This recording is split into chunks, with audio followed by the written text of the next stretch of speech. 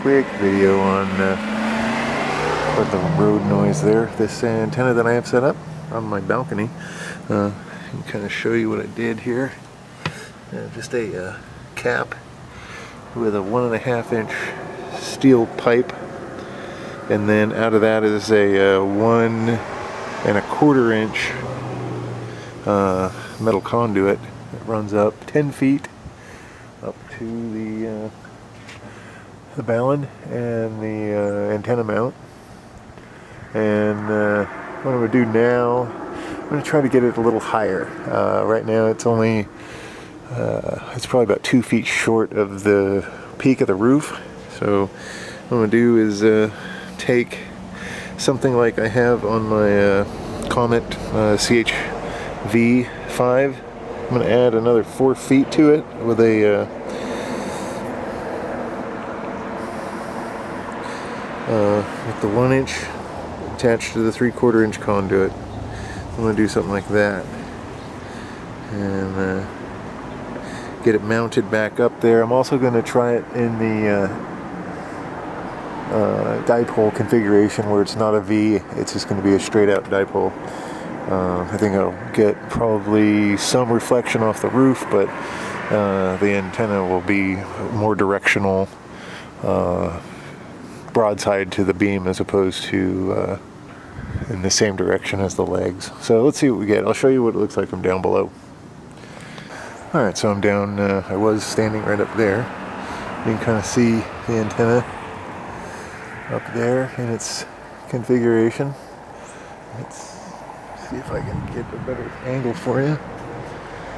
Yeah, you can't really see it all too well. Um, we go over to this side though, you might be able to see how high it is in relation to the roof. That kind of gives a better perspective on uh, where we're at.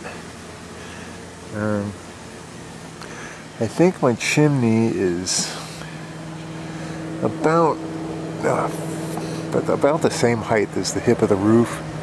So what I'm thinking is uh, if I can get that up another four feet. Uh, I think I'm probably be in pretty decent shape. Uh, the takeoff angle on that might be kind of messed up with the uh, the angle of the roof. Um, might be shooting too straight up, but we'll see what we get. Anyway, I'm going to try it, and uh, if the takeoff angle is really bad, then uh, I'll probably bring it back down and uh, put it back in a V configuration. So show what that all looks like and we'll do a uh, test when I get it done. Okay, so here's the pipe. This is the first section. It goes up through the deck and connects to a second section of just slightly smaller uh, heavy galvanized uh, conduit and you can kind of see there is where it's connected. And I'm going to be bolting the two pieces together. And then we got another six and a half foot run where the balun is. And I guess it's about seven foot total. And uh, what I did was I took a paracord and tied it between the two traps right there and there. And uh, see what I did there. And that side. And I just made it fairly tight and I figured, uh, you know, I also notched the top of that uh, conduit and then wrapped the rope in uh, about three inches of Gorilla Tape to uh, kind of resist abrasion and I just wanted to do this video quick because I don't know if you can see it but the, the weather's moving in again. It's supposed to rain pretty soon and I want to get this thing done before. So uh, all I have to do really is uh, pull this guy up. I just wanted to kind of show you how tall it was going to be before we got it up. So it starts there and it goes up to right there almost as tall as the house actually it is exactly as tall as the house, uh, at least to the uh, second story eave. Second story eave. I'm all, I'm so tired. I'm out of breath. Anyway, uh, yeah, just wanted to uh, show you, and uh, yeah, I don't I don't think I finished explaining. Uh, so anyway, I tied that rope so it was tight, and then basically just lowered the mount until it was taut, taut enough to support a majority of the antenna's weight. So I think that'll be all right. I can lower it a little bit if I have to. So anyway, I'm doing it this way, sectional, so if uh, you know, I get yelled at, it'll be easy to take down. All I have to do is just pull it off that pipe, lower it down like that, uh, unscrew the section, uh, the top section, and then lower that down and nobody will be able to see it. So I'll show you this. Uh, I have it so uh, this is where the pipe stops. That first 10 foot conduit that's stuck in. This is just a stop. Hey, lights came on, good timing. Um, and then uh, this hole, I just need to twist this pipe. It should match up uh, with my other hole. There it is, right there. So I'm just going to uh, put another bolt in there. That'll keep the two from spinning against one another. And uh, that'll make it so I can turn the antenna using the outside sleeve instead of the inside so it won't just freely spin. So I'm going to get this put up. Hopefully I can get it put up where there's enough light.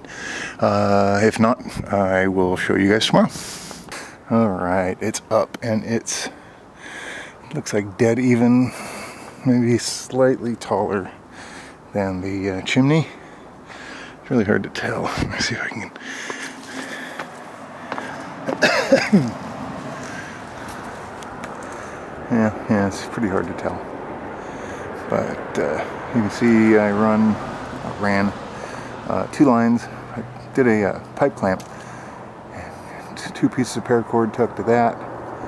One's hanging down to the eave there, the corner of the, the uh, patio cover, and the other straight down to over there. I'm just going to tighten it up a bit if I can. Um, I might actually still use a tie wrap and tie it off, tie the uh, coax, uh, which is probably not a great thing to use coax as a guy wire, but you know, that's what I got. and uh, yeah, I'm going to try this sucker out. Let's go upstairs and uh, see what kind of uh, SWR we get. Of course, living in California, that's what you get.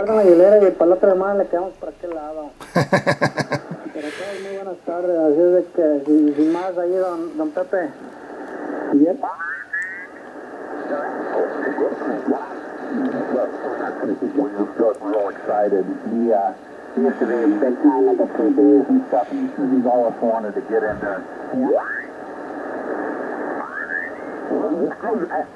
disappeared like you. So I don't know what uh, what happened, but you went for the really strong, readable signal.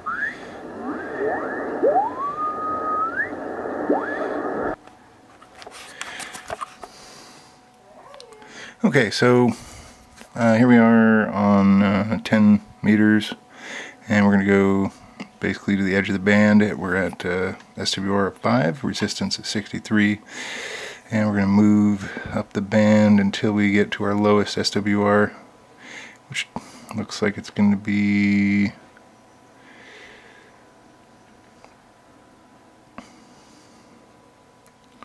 Oh, it's pretty low SWR all the way across the band, all the way up to the other side, uh, below below 1.5. Uh, it looks like 10 meters is pretty much good to go. It looks like 2, 1, 1.2 SWR around the 170 or uh, the 28735 range. So I'm going to mark uh, 735 in my little notes here. And then I'm going to go to the next band down, which is going to be uh, 15 up at 21 megahertz. And let's see. Having a brain fart. I think 15 starts at 121.2. Uh, 2. So we're at 1.3. Make sure this band plan thing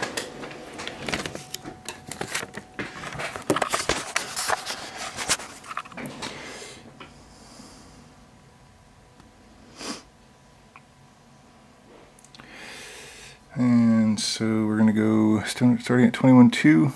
I'm going to just roll on down the band. Whoa, that happened fast, didn't it? Looks like we're still a little, uh, a little long on that, but uh, it's as short as it gets. So uh, in order to uh, get any better than this, we're going to have to cut and drill, but uh, that's no big deal. Uh, so I'm going to be happy with this.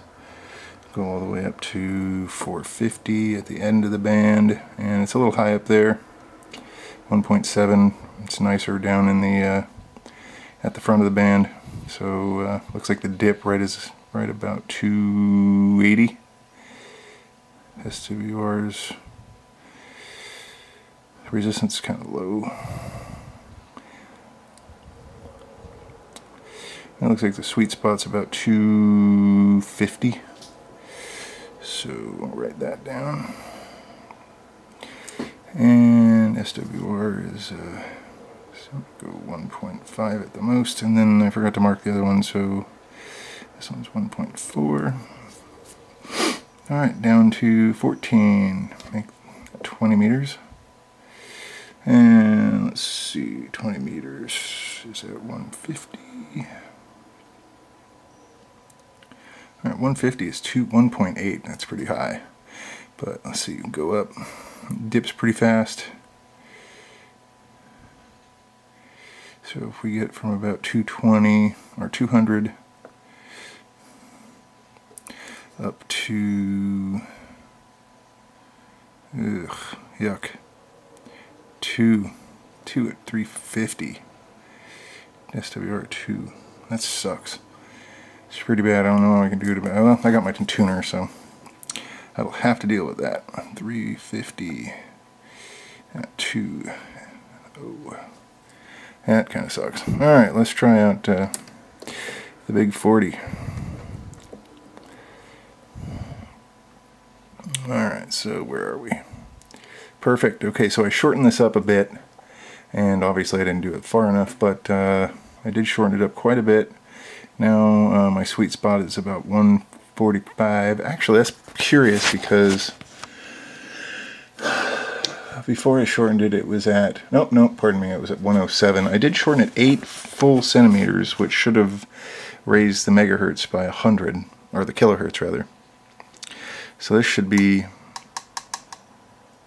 uh, about 60 kilohertz higher than it is showing, but shit, whatever. Uh, it's uh, not an exact science, obviously, so I could go shorter. So that's resonance. Um, we'll climb the band here.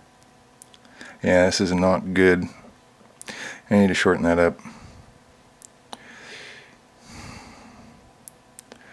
I'm pretty hosed at the top of the band. At 300, I'm at 3.2, 3.5, 4 friggin' SWR. That's un, that's ridiculous. Oh well. We're to test this. I'm to go uh, see if I can make some contacts. Call it good enough for now. Thanks for uh, watching, guys. Take care.